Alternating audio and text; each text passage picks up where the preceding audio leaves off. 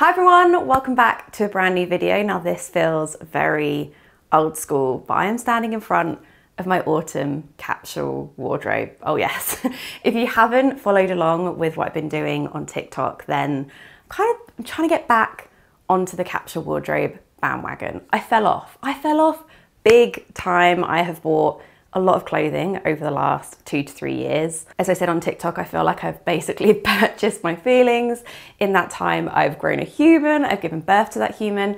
A lot has happened. We've moved, there's been a pandemic there's been a lot going on, but I'm like, right, okay, I feel like I have lost my way massively and I just want to get back into it. Like, there was a reason I did it for all those years. I literally did write a book on it. And I don't know, there's something in me that says, you know what, I can hold my hands up, say I maybe made a bit of a mistake, but I'm ready to give it another go. I think also for the reason that it is just very quick and easy to get ready in the morning. I'm like, I am all about time max right now and being able to stand in front of a rail like this and be like, right, okay, today's outfit, go. That appealed to me. So if you wanna see more of the ins and outs, like how I created this, like the method that I've been using, then definitely check out my TikTok. I will link it in the description box down below for you. Or also, if you've got my book from back in the day, dust it off. A lot of the methods I've been using are from that book. It felt very weird to read it again, but I was like, you know what? I think I was onto something here. But in the comments to the weekly vlogs, a lot of you have been saying that you wanted to see at least some capsule wardrobe content on here. So I thought showing you my seasonal capsule wardrobe like quarterly might be a nice way to incorporate that. So let me know what you think. I'm just gonna start running through everything. Let's start with jackets. Um, so I thought I would use this rail, which is my bigger out of the two rails as sort of my official capsule wardrobe rail. And then my smaller rail has the kind of out of season things. That's just my storage for the moment. And one of the first things I bought onto this rail with jackets and coats. So I've got the Toteme trench coat, I mean what a classic, and then also this Toteme black blazer as well. I've basically found my blazer. I have it in the black, I found like a creamy one on Vestiaire and I'm like, right, that is me, I'm sorted. I've also got that trench in a more classic trench colour, but for me, autumn is, it's all about the trench coat. Speaking of my Vestiaire find, it was this, I just absolutely love it. So this is the Toteme, I can't remember what the style of the jacket is called. It's exactly what I want out of a blazer. It's really oversized.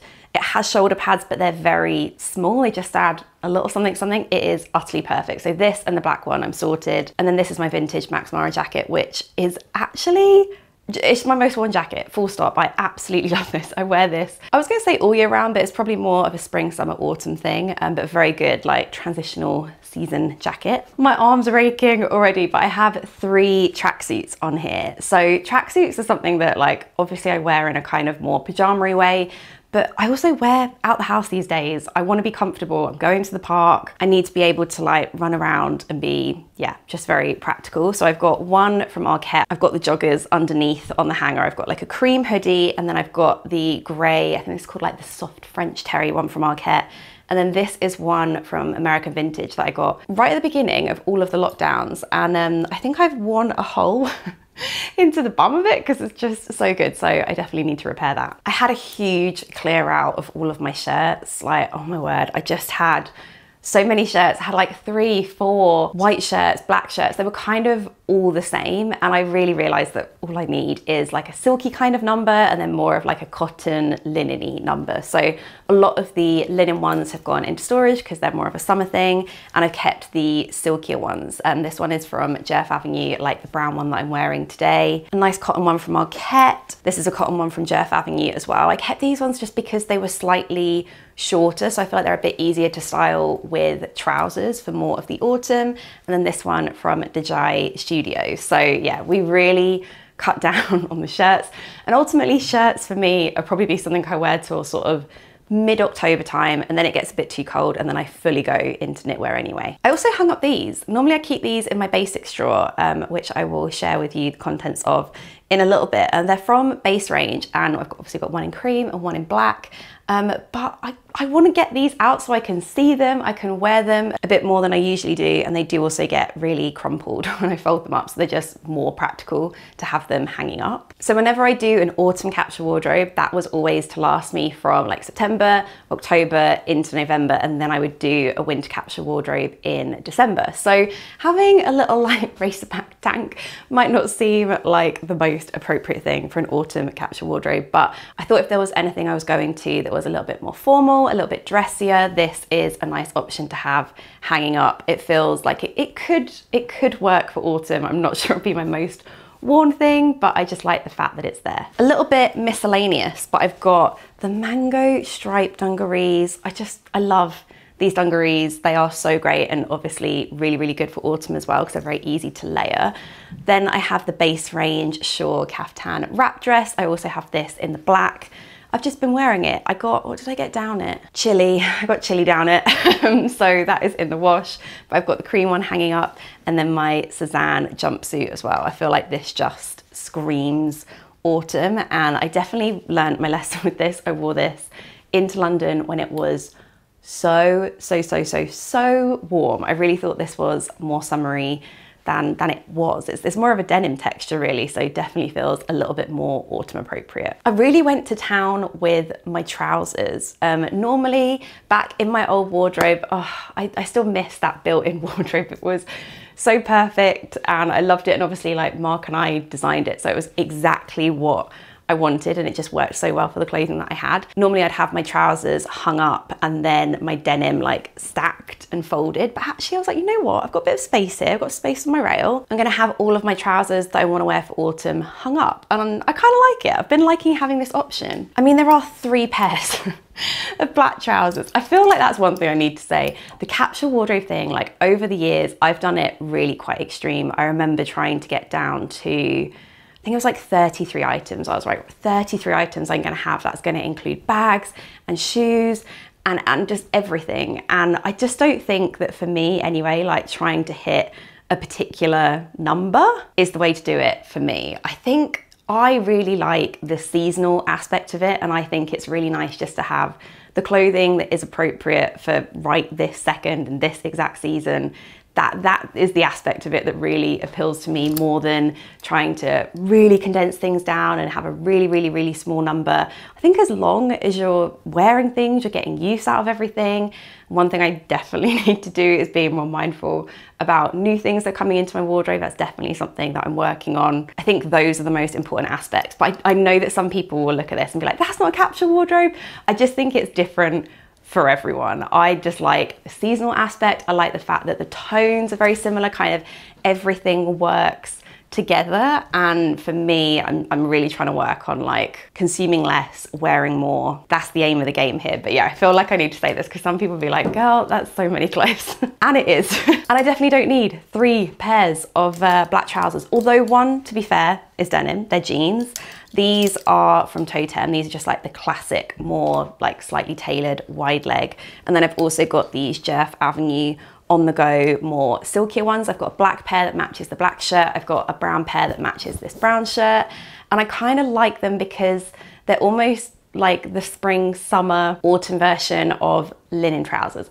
Linen trousers for me, I love them, although I don't think I wore them as much this summer. I think they really reminded me of my pregnancy wardrobe from last summer. So I definitely didn't get as much wear out of them, but I like this, this silky fabric makes them a little bit more spring appropriate and a little bit more autumn appropriate, I feel. So hence why they have remained in the autumn capsule wardrobe. So here are the brown ones, like I said, like, oh, what an outfit. I feel like these are my go-to as well. Like having some sort of matching coordinating set is such a good thing to have in your wardrobe because whenever I'm like, I really don't know what to wear today. Putting on a head to toe number just makes me feel very put together, very polished, very classic. It's one of my three words, don't you know? Jeans wise, I've got three pairs. I've got these vintage Levi's 501s from Cheekies Online that I'm wearing. Then I've got the Acne Studios ones that are slightly like tighter fitting.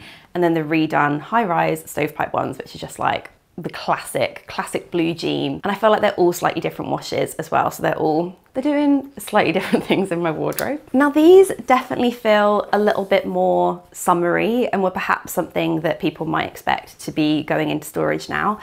But I keep seeing, obviously these are very similar to like the Row ones, which are literally a thousand pounds.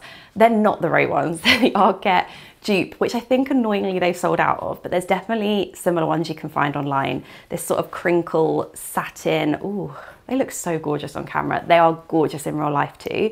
But I keep seeing them styled with knitwear, styled mainly with knitwear really. I don't know where else I was going with that list and they just look really cool. Like knitwear, these, a pair of flip-flops, it's that very like Scandi cool girl going about running some errands kind of casual vibe, which I, I don't know, I really like. So I thought it'd be fun to have these in my autumn capsule wardrobe and just see if I wear them, see if I see if I can rock that look quite honestly. Then we've got three pairs of neutral trousers. I feel like I can justify this because they're all very, very different, very, very different. I've got a wide leg pair of denim trousers from COS. These are from Zara and they're like a cream leather straight leg number. And then I've got the Tansy Frankie Shop, like actually more of a tailored trouser. Let's have a quick chat about bags because I feel like when I did my clear outs on TikTok that is currently going on now, um, I, I really downsized in the bag category, I was like, right, okay, there's, I had quite a few, and I think there were four in the end that I really loved and they're like perfectly good bags, but I was like, I have not worn these bags in the last two or three years, so they've got to go. But the ones that I've kept are ones that you would have seen and I wear all the time, but I'll quickly chat you through them. I've got two from Loewe. These are kind of in the small bag category. This is the Puzzle in Midnight Navy, of course. I think this is now five or six years old. I've had it a while. I absolutely love it. And then this is the Hobo puzzle bag. So it's slightly longer, more of a baguette type shape, and then also just has the over the shoulder strap, whereas this one has more multifunctional ways of wearing it. I wear them both a lot and I do like this one because it feels a little bit dressier, so great for going out. Oh, my Anderson's belt. I forgot about that. A black leather belt, definitely a must. And then two bigger bags. This is the Celine tote bag that I found on Vestiaire. You know what? Probably, oh, is this my favorite Vestiaire buy? It might be. I I love it. I wear it so often and it's absolutely gigantic, so definitely works in a very practical way for me too. And then this is a more recent buy off of Vestiaire and this is one of the taupe Celine hobo bags with the gold detailing. I've looked on Vestiaire Collective for years for a bag like this and one came up and I just couldn't help myself. It is utterly perfect. Look, I'll wear it on the other side. Oh, I love it. The size, the color, the detailing. Um, yeah, I very much feel very, very done, very complete, very content in the bag department. Okay, shoes. I've obviously got what is on my feet right now. The, the Birkenstock Eva sandals. I just, I live in these. But I have also got the Mango Chanel Dad Dupe ones as well, of course. Such a good transitional shoe. And I, I feel, for me, I love, like one of my favorite, favorite styles is like jeans with a really heavy, cozy knit with sandals.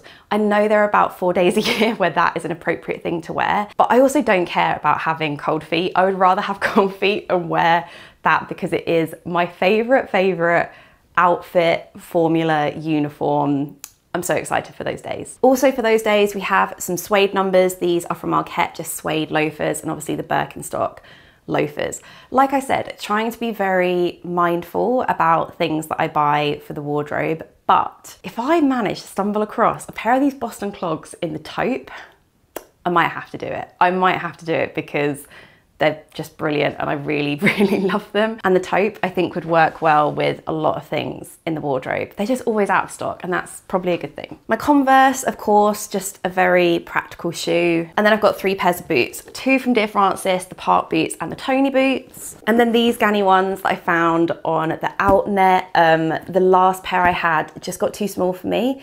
So I had to sell them, absolutely gutted. They were one of my favorite pairs of boots. But I found them on the Outnet. They're a slightly different um, color of mock croc leather. The ones I had before were this patent kind of burgundy brown. These are definitely more of a true brown, but I love the cowboy boot style and they're just really handy for dressing things up a little bit, looking a little bit more put together. So now you're wondering, where's the knitwear and where are the basics? And this is where I'm kind of switching things up a little bit. Um, I don't hang my knitwear and my knitwear is in the other side of the room, all neatly folded. So I'm kind of giving myself free reign with the knitwear. There's two really chunky, chunky jumpers that I've put aside for winter, but with everything else, I'm like, you know what? If I wanna wear it, why restrict myself? I've had a huge purge of my knitwear, like big time. I probably got rid of about 50% of it, but what remains, I love. Some of it I've had for a long time as well. So I'm like, you know what? Let's, let's just wear it. I've got three beige jumpers. Again, they're all very different, very, very, very different. Um, one's Toteme and slightly more cropped and like a wide arm. One is from Arket, it's a heavy wool jumper, and then the other one at the bottom is Toteme and is quite oversized, like a really bell sleeved fit. Um, if you wanna see me try all of these on, I know I keep mentioning the TikTok, but it took me a very long time to go through every single thing in my wardrobe and basically try it all on. Um, and that's a little series I'm doing on there at the moment, so check that out. I've got one grey oversized cashmere jumper from Arket, um, one Sézane Gaspard uh, cardigan in a nice little camel, and then also this camel cashmere knit from Mango that's like a polo neck style. Um, again, just kind of nice to have slightly thinner knit options for days when it's like kind of a little bit cold, but still a bit warm at the same time. And then finally, the dark knits. I've got a navy heavy wool jumper from Arket. Um, this is from Equipment actually, the black cashmere jumper. Gosh, I've had this in my wardrobe really since I started the capsule wardrobe, so like five, six years. A Toteme black ribbed knit that I found on Vestiaire, and then also the Sezane Gaspard cardigan in the black. And then the final piece of the puzzle is this. This is just my basics. I bring it a little bit closer so you can see, but at the top I have a racerback tank in white, a beige and a black. Then I've got the Arket crew neck jumper and again I've got it in a white, a cream, the black is currently in the wash. I've got the Arket heavyweight t-shirts, again in the white, the cream and the black is in the wash. And then also an Arket long sleeved t-shirt. And of course in the white, the cream and the black. So because this is all organized, it sits in my drawer, it's ready to go. I didn't see the point of pulling this apart and being like, oh, I can have two t-shirts or I won't have any racerback tanks or anything like that. I might as well just wear these, use these, they're organized, they're ready to go. And ultimately things like the tanks will be really good for layering, whereas the t-shirts are obviously just good to wear on their own with like the jackets, whatever, you catch my drift. Um, I really like this drawer. When the black t-shirts are in it, it looks chef's kiss, let me tell you. So that is a tour of everything that is in my autumn capsule wardrobe. Let me know if you enjoyed it and I can make it a little series. So every time I do a little rejig, I can show you what has made the cut and what is inside. Um, I know I keep going on about it, but I really, I'm doing a lot on TikTok these days. There's a lot going on on there. So if you wanna follow along, that is the place to see all of the capsule wardrobe stuff and YouTube is more a place for like behind the scenes, life, vlogging, that sort of business. Um, but thank you so much for watching this video. I hope you enjoyed it and I will see you next week with a brand new one. Bye.